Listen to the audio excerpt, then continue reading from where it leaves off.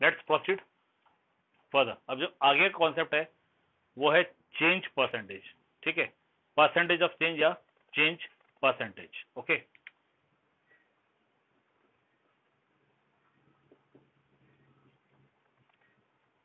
फॉर्मुलीज है और कुछ भी नहीं है.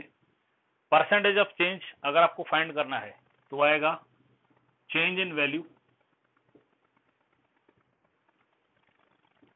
upon original value into hundred ये आएगा percentage of change percentage of change आएगा या चेंज परसेंटेज आएगा? Change in value upon original value into hundred okay simple सा एग्जांपल ले लीजिए। शायद लास्ट टाइम मैंने बताया था। वैल्यूज़ uh, में चेंजेस आते रहते हैं और ये चेंजेस पॉजिटिव भी हो सकते हैं नेगेटिव भी हो सकते हैं। दीज चेंजेस में भी पॉजिटिव दीज चेंजेस में भी नेगेटिव ओके सपोज़ आप लोग प्लान कर रहे हो कि एक कार लेनी है, ठीक है? आपने कार का रेट निकाला, आपको चला कार का जो रेट है वो फाइव लाख रुपीज़ है, ठीक है? आपने सोचा कि चलो फाइव लाख जमा करते हैं, लेकिन कुछ प्रॉब्लम्स आ गए जिसके से आपने सोचा चलो इस साल ना लेके हम नेक्स्ट ईयर लेंगे। फिर आपने नेक्स्ट ईयर कार का जब फाइनल किया कि भाई इस साल तो लेनी है तो इस साल रेट हो गया फाइव लैख फिफ्टी थाउज़ेंड ठीक है? Five lakh fifty thousand rate हो गया, ठीक है? मतलब क्या हो गया? वैल्यू जो थी पहले वो चेंज हो गई। ओके जो पहले वैल्यू थी वो क्या हो गई? चेंज हो गई. So there is change in value ठीक है? अब चेंज इन वैल्यू कितनी है? It is yes how much rupees rupees के पॉइंट से कितना चेंज है?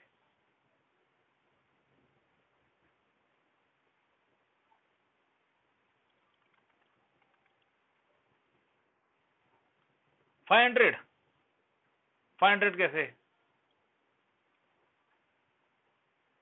रुपीज़ के पॉइंट ऑफ़ से चेंज फिफ्टी थाउज़ेंड है।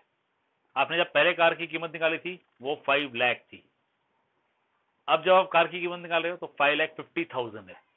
ठीक है? इसका मतलब चेंज इन वैल्यू रुपीज़ के पॉइंट ऑफ़ से चेंज इन वैल्यू कितना है? फिफ्टी थाउज़ेंड ठीक है? चेंज इन वैल्यू कितना है?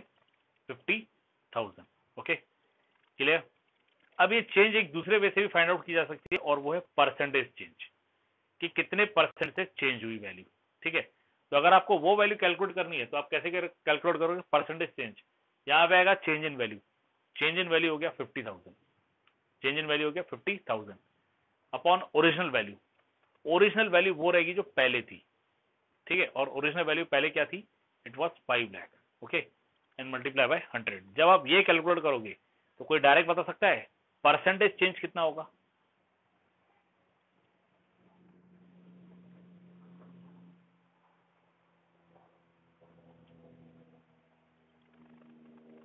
फिफ्टी परसेंट नहीं बेटा, बहुत ज़्यादा हो गया।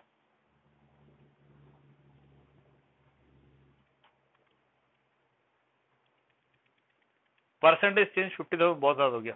चेंज इन वैल्यू जो हो रही है वो पाँच पचास हज़ार हो रही है। ठीक है? और ओरिजिनल वैल्यू जो थी वो फाइव लैख थी। ओके जो ओरिजिनल वैल्यू थी वो फाइव लैख थी। इंटू हंड्रेड ठीक है? आप कैंसिल करो। One two three four one two three four one one five five कितना हो गया? टेन परसेंट वैल्यू कितनी होगी? टेन परसेंट ओके क्लियर तो percentage change percentage change ten percent है। जबकि एक्चुअल वैल्यू जो है, वो फिफ्टी थाउज़ेंड से वेरी कर रही है। ठीक है? ये है डिफरेंस ये है डिफरेंस तो चेंज दो तरह से कंसिडर किया जा सकता है। एक चेंज इन वैल्यू कंसिडर किया जाता है और एक चेंज इन परसेंटेज ठीक है? अब देखिए सपोज़ टेन रुपीज़ है किसी की वैल्यू ठीक है? बिल्कुल कॉन्सेप्ट को ध्यान से समझिएगा। ठीक है? कॉन्सेप्ट समझ में आ गया ना, फिर इसे सॉल्व करना मतलब प्रॉब्लम्स को सॉल्व करना इजी रहता है।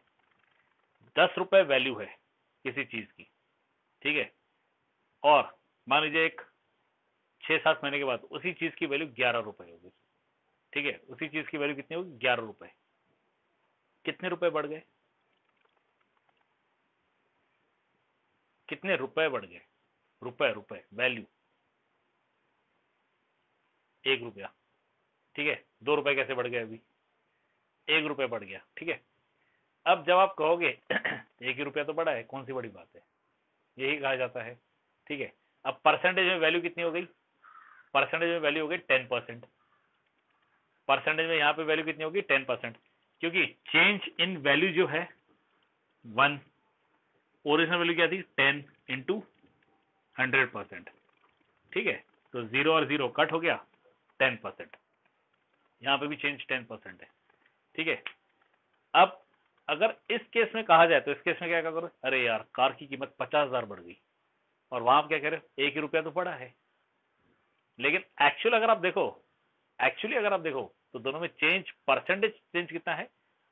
टेन परसेंट परसेंटेज चेंज कितना है? Ten percent yeah the change is ten percent yeah the change is ten percent okay लेकिन वैल्यू के पॉइंट ऑफ़ व्यू से, यहाँ आपके मुँह से शब्द क्या निकलेगा? एक ही रुपया बढ़ा है।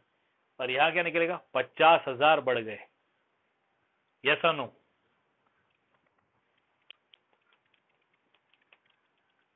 यस ठीक है? तो change value sorry change percentage जो है ना, वो हमेशा जो ओरिजिनल वैल्यू है, उसके बेसिस पे कैलकुलेट की जाती है। ठीक है? Any of formula is this आजकल जो प्रोडक्ट सेलिंग कंपनी है ना, वो बहुत होशियार हो गए हैं। ठीक है? वो कभी भी आपको ये नहीं बताते हैं कि कितना अमाउंट बढ़ा है, वो आपको परसेंटेज वाइज बताते हैं कि इतना परसेंट बढ़ा और इंसान वो परसेंटेज देख के उनको लगता है कि चलो, इतना फ्री या इतना बड़ा, ये ठीक है, वो उसमें देखते हैं, ठीक है? अगर आप उसकी एक्चुअल वैल्यू देखोगे तो वहाँ प्रॉब्लम है। लास्ट लास्ट क्लास में एग्ज़ाम्पल दिया था ना मैंने 50 ग्राम का टूथपेस्ट है और 20 परसेंट बढ़ा के दे रहे हैं। पचास ग्राम का 20 परसेंट कितना होगा? ये मैंने लास्ट इसमें दिया था ना।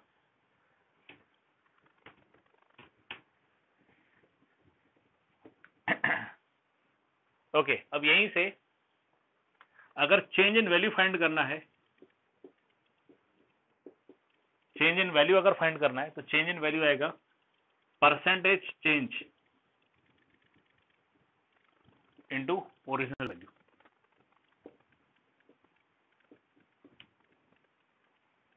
यहीं से अगर आपको चेंज इन वैल्यू फाइंड करना है तो वो आएगा percentage change into original value okay clear ये हो गया चेंज के केसेस अब चेंज दो तरह की हो सकती है। एक जो मैंने आपको अभी बताई, अब मैं आपको दूसरी चेंज बताता हूँ ओके आपको मैं दूसरी चेंज बताता हूँ। सपोज़ आपने एक नया मोबाइल लेना है, ठीक है? आपने मोबाइल सर्च किया, उस मोबाइल का प्राइस जो है वो सपोज़ ट्वेल्व थाउज़ेंड रुपीज़ है, ठीक है? आपने ड्रॉप आउट कर दिया कि छोड़ो यार, अभी नहीं लेंगे, ठीक है? कुछ समय बाद, एक छः महीने बाद आपने फिर सर्च किया सेम मोबाइल और अब उस मोबाइल का जो प्राइस है, वो मान लीजिए कम होके कुछ टेन थाउज़ेंड करीब आ गया है, ठीक है? तो यहाँ पे क्या हो गया? यहाँ पे मोबाइल का प्राइस कम हो गया। क्यों? कम होने का रीजन ये है कि छह महीने के अंदर ये जो मोबाइल है, ये थोड़ा सा आउटडेटेड हो गया, क्योंकि छह महीने के अंदर नई टेक्नोलॉजी आ गई, ठीक है? कुछ नया आ गया, कुछ ऐसे फीचर्स आ गए जो अब उस मोबाइल में पुटअप करना हमारे लिए पॉसिबल नहीं है, ठीक है? या फिर एकदम से ट्रेंड चेंज हो गया छह महीने के अंदर ही, ठीक है? और छह महीने के अंदर जो ट्रेंड चेंज हो गया, उसमें उस वक्त के जो स्पेसिफिकेशन है, आज वो एकदम से आउटडेटेड लगने लगे। अब कंपनी के पास तो अपना स्टॉक है, उन्हें तो मोबाइल बेचना है रेट कम करके बेच दिया, ठीक है? तो क्या हो गया? वैल्यू डाउन हो गई, ठीक है? वैल्यू क्या हो गई? डाउन हो गई। तो यहाँ पे भी चेंज इन वैल्यू आएगा। यहाँ पे भी क्या आएगा? चेंज इन वैल्यू ठीक है? अब इस केस में चेंज इन वैल्यू जो है, वो कम की तरफ़ इशारा कर रही है। इससे पहले जो कार का एग्ज़ाम्पल दिया था, उसमें चेंज इन वैल्यू ज़्यादा की तरफ़ इशारा कर रही थी, ठीक है? तो इसी चेंज इन वैल्यू पे दो पॉसिबिलिटीज है। एक है इंक्रीज परसेंटेज और एक है डिक्रीज परसेंटेज अब जो इंक्रीज परसेंटेज आएगा, वो रहेगा। इंक्रीज परसेंटेज ये आएगा। Increase in value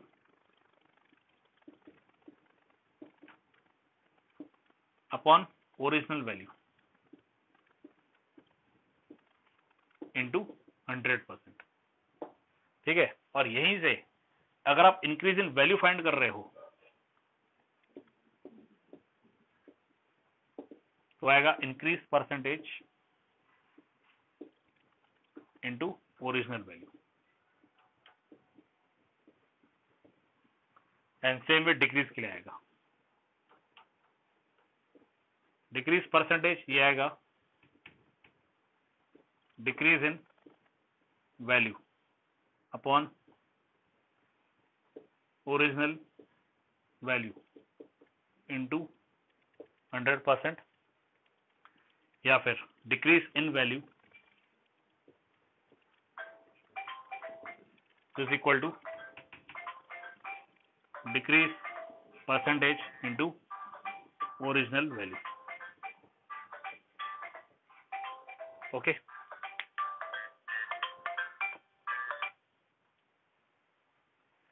you will get this. Okay?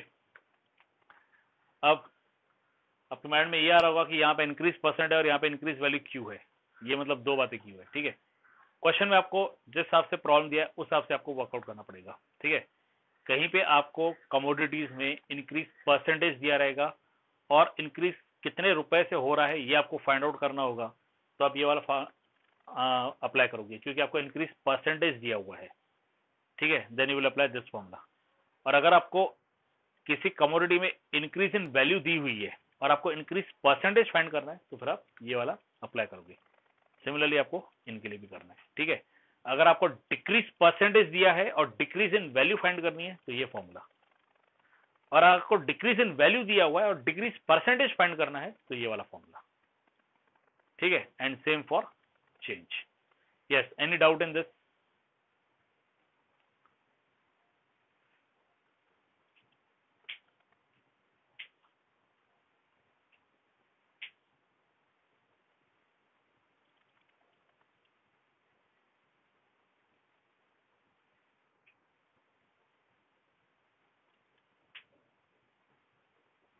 okay अब इसी में आगे प्रोसीड करते हैं और इसमें हम चलते हैं प्रॉफिट लॉस परसेंट पे भी। वैसे उसके प्रॉब्लम उसके जो फॉर्मुलीज है, वो आप लोग सेवन स्टैंडर्ड में भी देख चुके हैं।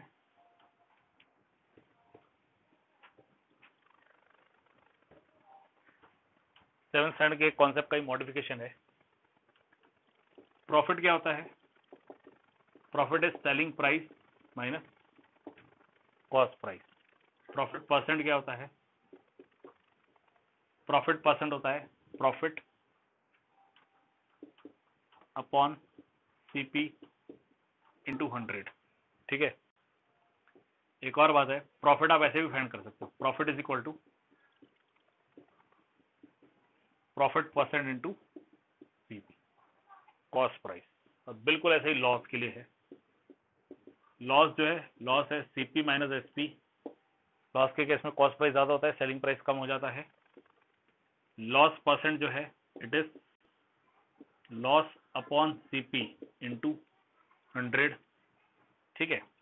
और लॉस को कैलकुलेट करने का एक फॉर्मूला ये भी है कि आप लॉस परसेंटेज इंटू सीपी कर सकते हो। लॉस परसेंटेज इंटू सीपी ये फॉर्मुलिस ऑलरेडी आपके सेवन स्टैंड में हो चुके हैं। ये फॉर्मूला कब अप्लाई होता है? जब कमोडिटी के लिए सेलिंग प्राइस कॉस्ट प्राइस दोनों दिए हुए हैं। ठीक है? ये फॉर्मूला जब आपको प्रॉफिट पता है, ठीक है कॉस्ट प्राइस पता है तो आप प्रॉफिट परसेंट फाइंड कर सकते और ये कब अप्लाई करोगे? जब आपको कॉस्ट प्राइस दिया है प्रॉफिट परसेंट दिया है, लेकिन सेलिंग प्राइस आपको पता नहीं है। क्योंकि देखो सेलिंग प्राइस पता होगा कॉस्ट प्राइस पता होगा तो डायरेक्ट यही फॉर्मूला अप्लाई कर दो प्रॉफिट फाइंड करने के लिए। लेकिन आपको कॉस्ट प्राइस दिया हुआ है और प्रॉफिट परसेंट दिया है, लेकिन सेलिंग प्राइस नहीं दिया हुआ है। तब आप प्रॉफिट यहाँ से ऐसे फाइंड कर सकते हो। एंड सिमिलरली फॉर लॉस वैसे फॉर्मुलीज आपको सेवन स्टैंड में भी दिए गए थे। Yes any doubt in these formulas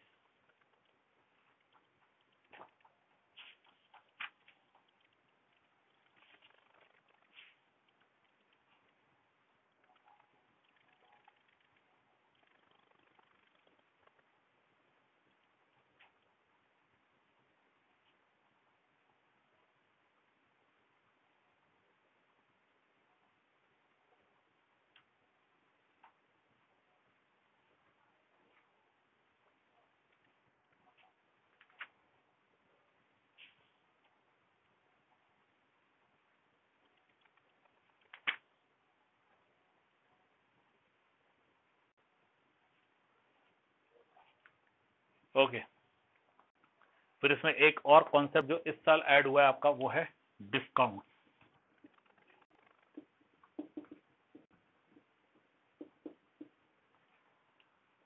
discount मेरे हिसाब से वर्ड तो सुना हुआ होगा आपका।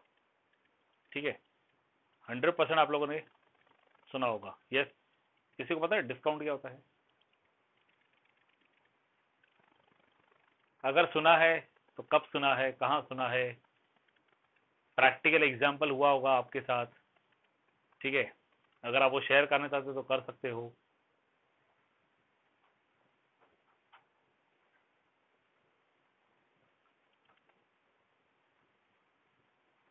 Discount offer sale shopping malls में। ठीक है? या फिर ई कॉमर्स वेबसाइट जो रहते हैं फ्लिपकार्ट अमेजोन वहाँ पे भी आपने वर्ड सुने ही होंगे, ठीक है? या फिर कभी पेरेंट्स के साथ गए होंगे किसी शॉप में, ठीक है? अगर आप पेरेंट्स के साथ शॉप में गए हुए हैं तो वहाँ पे आपने कोई चीज़ परचेस करनी है, वहाँ आपने पूछा होगा कि इसका प्राइस तो ये है, लेकिन डिस्काउंट क्या रहेगा, ठीक है? तो डिस्काउंट क्या होता है? Discount is the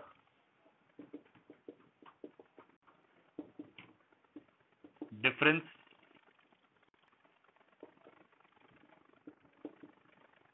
between the marked price and selling price.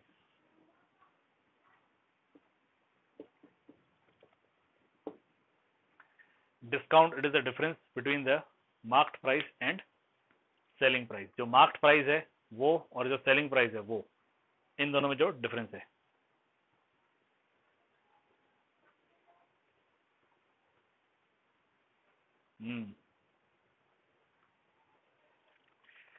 difference between the market price and selling price that is the discount ठीक है? सपोज़ आप गए किसी शॉप में, वहाँ पे आपने कोई एक चीज़ परचेज की, आपको वो चीज़ पसंद है, आपने परचेज की। सपोज़ किसी बच्चे के लिए गिफ्ट आप परचेज कर रहे हो और वहाँ पे उसका प्राइस लिखा हुआ है एट हंड्रेड रुपीज़ आप कहोगे गिफ्ट तो मुझे पसंद है, लेकिन प्राइस मुझे ज़्यादा लग रहा है। इसमें क्या कम हो सकता है? आप बताइए. दुकानदार आपसे कहा कि, चलिए, आप हमारा रेगुलर कस्टमर है ठीक है?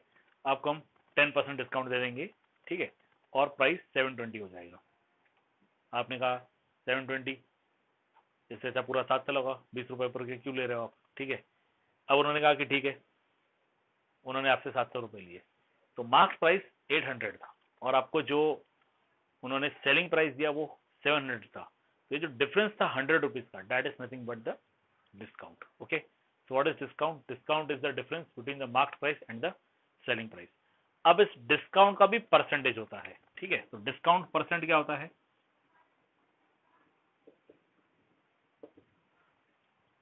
डिस्काउंट परसेंट क्या होता है? डिस्काउंट परसेंट होता है discount upon selling price into hundred discount selling price पे लिया जाएगा, ठीक है?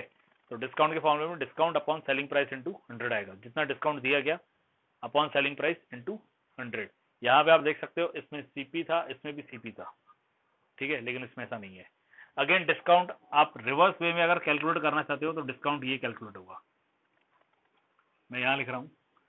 रिवर्स वे में discount it is equal to discount percent into selling price ये होगा discount percent into selling price इस तरह से भी आप कैलकुलेट कर सकते हो। ठीक है? ओके इस तरह से आप कैलकुलेट कर सकते हो। Discount basically difference between the marked price and the selling price okay discount percentage हमेशा सेलिंग प्राइस पे कैलकुलेट किया जाएगा। ये फॉर्मूला कब यूज़ करोगे? जब आपको कमोडिटी की सेलिंग प्राइस पता है डिस्काउंट कितना दिया गया वो पता है, ठीक है? तब आप ये फॉर्मूला अप्लाई करोगे।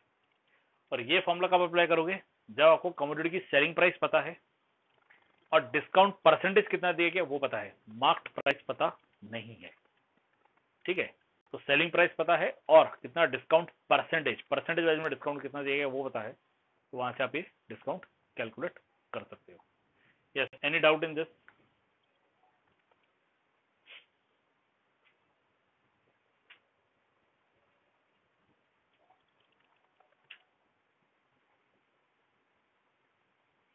47 great that's great आपके क्लास की अटेंडेंस बहुत अच्छी है।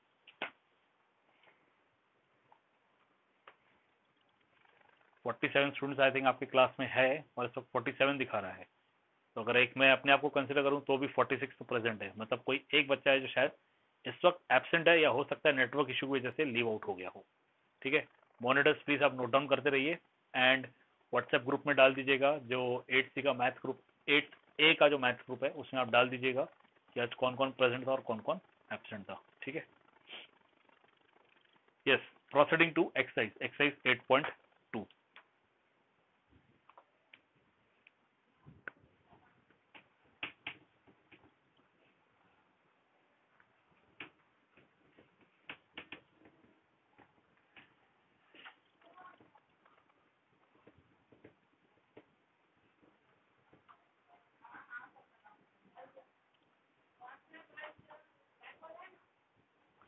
exercise 8.2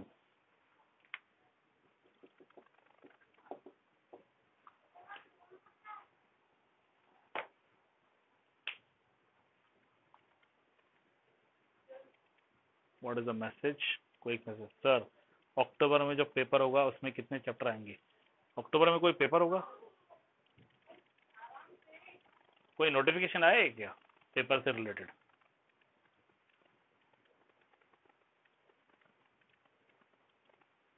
आपके ग्रुप वगैरह में कोई नोटिफिकेशन आया पेपर से रिलेटेड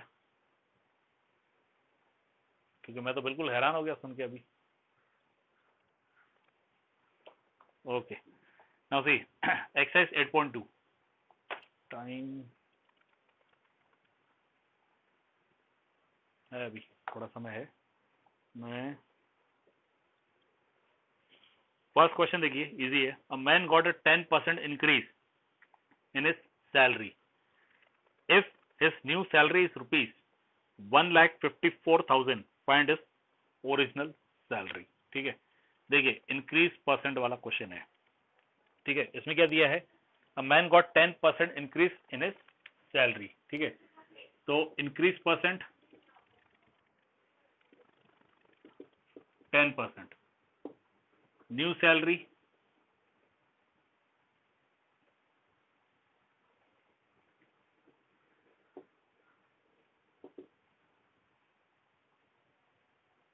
new salary जो है वो rupees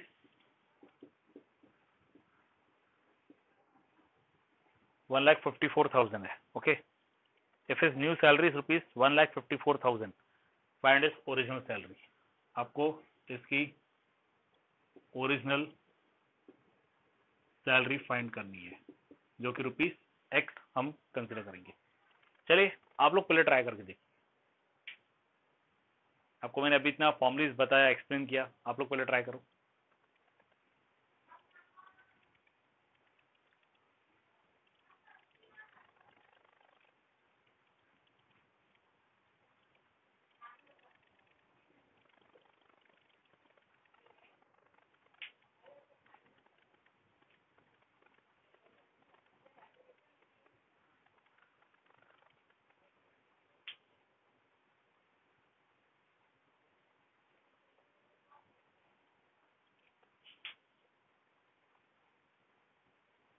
ठीक है वेरी गुड आंसर आ रहे हैं। ना सी सबसे पहले इंक्रीज परसेंट आपको टेन परसेंट दिया है। तो इंक्रीज इन सैलरी देखेंगे। इंक्रीज इन सैलरी एक फॉर्मूला लिखा था उन्होंने इंक्रीज इन वैल्यू तो वो है increase percentage into original salary हमने ओरिजिनल वैल्यू लिखा था, यहाँ पे ओरिजिनल सैलरी आएगा। तो इंक्रीज परसेंटेज टेन परसेंट है। इंटू ओरिजिनल सैलरी जो है वो एक्स मतलब ten upon hundred into X आ गया, ये आ गया वन अपॉन टेन एक्स ठीक है, ये है इंक्रीज इन सैलरी ठीक है, अब देखिए न्यू सैलरी क्या होगी? न्यू सैलरी होगी original salary plus increase in salary तो ओरिजिनल सैलरी कितनी थी? एक्स और जो इंक्रीज हुआ सैलरी में, वो कितना हुआ? वन अपॉइंट टेन एक्स ये। और न्यू सैलरी बनी कितनी? One lakh fifty four thousand इतनी बनी। अब आप इसे सॉल्व करो। यहाँ पे x जो है, ये वन बाय वन है और ये वन बाय टेन है। फ्रैक्शन में आ गया। ठीक है? तो जब फ्रैक्शन में आता है, तब दोनों का डिनोमिनेटर सेम होना चाहिए। यहाँ पर डिनोमिनेटर सेम नहीं है। तो आप एलसीएम लेकर डिनोमिनेटर सेम करोगे। तो एलसीएम आएगा ten this will give you ten X plus X upon ten ये हो गया one lakh fifty four thousand into ten is equal to eleven X अब इलेवन इधर डिवाइड कर दो। इसमें एक ज़ीरो और बढ़ गया।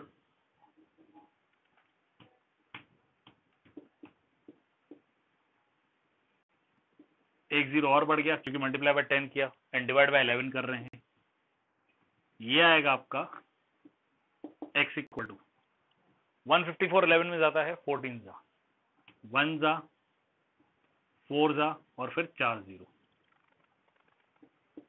तो ये आ गया rupees one lakh forty thousand ये आ गई इसकी ओरिजिनल सैलरी ठीक है? इसमें कोई डाउट अगर है तो पूछिए। सॉल्व करने का मेथड डिफरेंट भी हो सकता है। नो डाउट ऐसा ज़रूरी नहीं कि मेथड यही हो। आप डिफरेंट मेथड से सॉल्व कर सकते हो अगर आपका कोई अपना मेथड है तो। Yes any doubt in this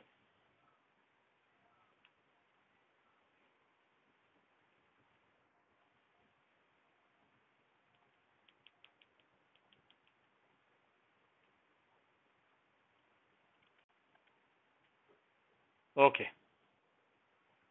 second question आपका होमवर्क रहेगा। आप ट्राई कीजिएगा। आपको दिया है।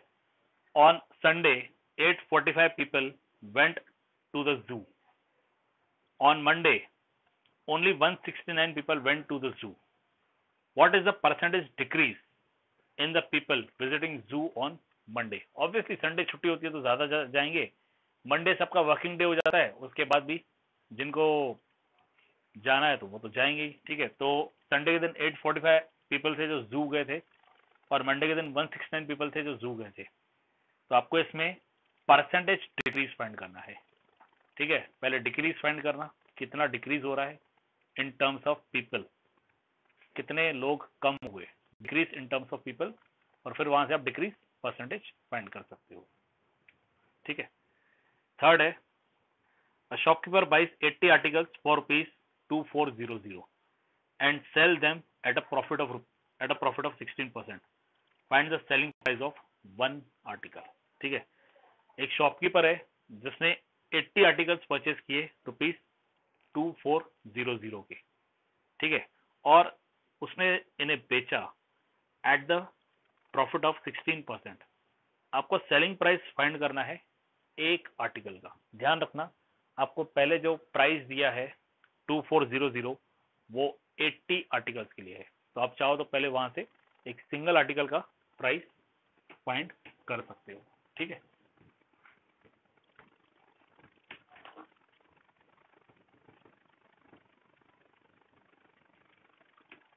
तो थर्ड क्वेश्चन सी आपको गिवन क्या है? Cost price of 80 articles is equal to rupees two four zero zero यहाँ से हम एक आर्टिकल का कॉस्ट प्राइस फाइंड करेंगे। Therefore CP of one article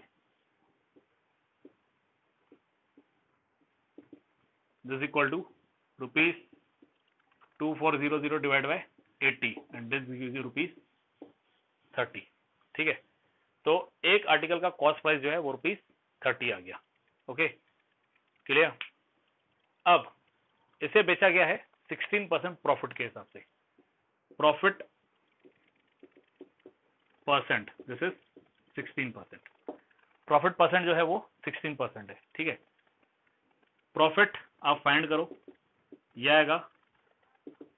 Profit percent into cost price profit percent 16 percent है ऑफ़ मतलब इंटू और ये 30 ये हो गया 16 अपॉन 100 into thirty zero zero cancel you get 48 divide by 10 this is 4.8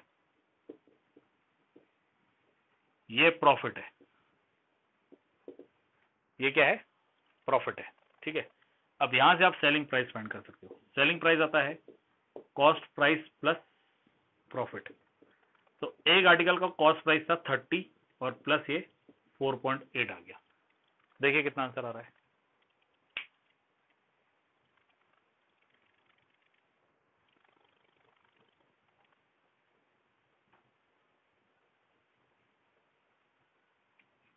यहाँ है how is forty nine strength yes forty nine strength कैसे है? आप ये पूछ रहे हैं। इस वक्त तो फोर्टी एट दिखा रहा है। इसका मतलब सारे फोर्टी सेवन प्रेजेंट है और एक मैं हूँ। यस सृष्टि, आपका क्वेश्चन है how is forty nine strength मतलब? हाँ ये लो आकृति ने आंसर दे दिया। इसका मतलब ये है कि कोई हायर अथॉरिटी है जिन्होंने क्लास को विज़िट किया है। ठीक है? और आकृति का ध्यान है। मतलब आकृति कह रही है वाइस प्रिंसिपल सर आए थे। ओके चलिए, अच्छी बात यह है कि यहाँ मुझे 47 दिखाई दे रहा है। सॉरी 48 अभी थोड़ी देर पहले मुझे दिखाई दे रहा था। 49 आप पूछ रहे हो कि 49 स्ट्रेंथ कैसे हुआ? मतलब उस वक्त अगर वाइस प्रिंसिपल सर थे तो भी 48 था। एक मैं हूँ और 47 आपके क्लास के मतलब इसका मतलब ये कि आपके क्लास में सारे बच्चे प्रेजेंट है। बाकी नेटवर्क इशू के इधर उधर जो हुए हैं, वो पता चल जाएगा। ठीक है, इसका आंसर आएगा rupees thirty four point eight yes any doubt in this